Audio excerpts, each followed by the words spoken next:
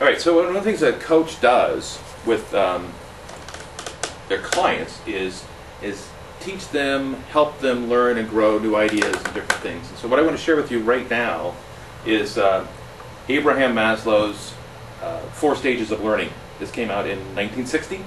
You can Google it. It's all over the place. Some people say there's five stages, but let me just talk about the four that we're going to work with on right now. Um, we're going to use colors, and we're going to use symbols. We're going to write on this board because it helps everybody retain the learning principles. It's a Gestalt learning theory.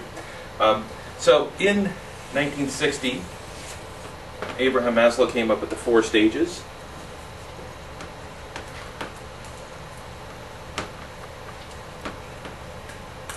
This is a uh, this is a key power principle from Brian Tracy. He's got a half dozen of them, and um, if I step over there, I'll probably get out of the camera.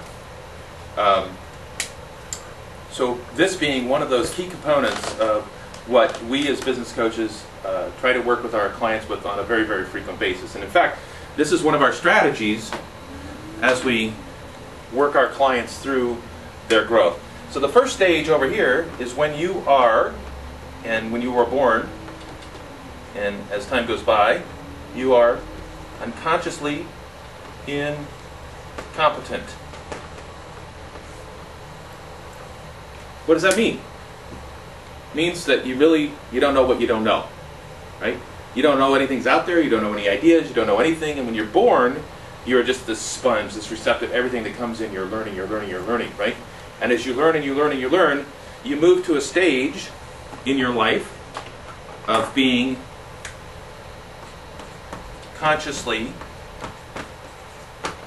incompetent.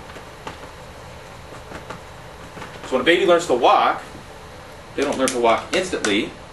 They figure out other people are walking. I want to walk too. But they don't know how to walk, right? When you want to drive a car, right? When you're first born, you don't even have an idea of a car, right? But eventually you say, oh, a faster way to get around is to drive a car, right? You move from the unconsciously incompetent space to the consciously incompetent space. So as a coach, one of the things I'm trying to do with my clients all the time is move them from here to there new ideas, different concepts, different areas of, of involvement. You know, my business is coaching, my business is business. So I'm reading books, I'm reading magazines, I'm on the internet, I've done all kinds of things all the time about business. My objective then is to share some things with you that maybe you're not aware of so that you can then become aware of them. Once you become aware of them, now actually you have a choice. You can decide to learn something more about it. So you could take a class or take training or read a book or do any number of kind of things. And the next stage would be to move you to a spot where you are consciously, I'll learn how to spell that one of these days, competent. So now, you know how to do it, but are you very good at it? Maybe not. As a famous golf instructor once said, It'll take a little while for you to get used to what I'm telling you. And sometimes when you take that lesson and, and you go out on the golf course, it can be pretty difficult for a little while until you incorporate that lesson. If you were to um, learn to drive a manual transmission car, stick shift, um, I knew about it, right? It was a car. My father took me out in the car and said, all right, here's how it works. So now I'm competent. I know how it works. How many times did I stall that car? the first time I tried to drive it, right?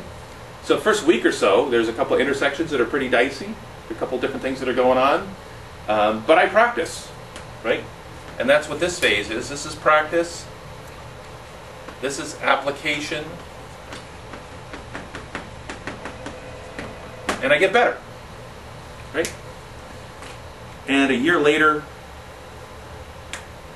I'm up here and I'm at a stage called unconsciously I still can't spell it. Competent. Right? I don't have to think about when to push the clutch in and when to shift and when to do that kind of thing. So I then move into this spot. It's like riding a bicycle, right? After after you after you learn the first week of riding a bicycle, there's a few scrapes. But a year later, you don't even remember those scrapes. You don't remember anything about it, and you're just riding your bicycle or you're driving the manual transmission. And the other thing that's nice is that when you get to this stage, you stay there. You don't backslide. Once you learn to ride a bike, you know how to ride a bike. You go 20 years without riding a bike. Manual transmission. I didn't drive a manual transmission car for 15, almost 20 years. I went to Costa Rica, had to rent a car. Guess what? All they got are manual transmissions. No biggie. I'm going up and down mountains, having all kinds. We went off roading. It was all kinds of fun. But once you get to here, then you're then you pretty much got it. You're fine.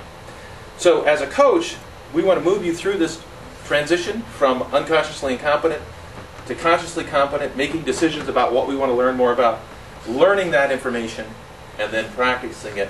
And this part here practice, the coach helps you here by being making you accountable. So when you say, I'm going to, I want to, this is where I want to go, every week, you get to hang out with the coach and tell him how you're doing. And when you say, I didn't do that, coach says, How come? Why? So we keep you practicing because, and we're only here to help you get where you want to go. We're not here to get where we want to go. This is all about you. We're all about getting you to that position. So anyway, that's the four stages of learning by uh, Abraham Maslow.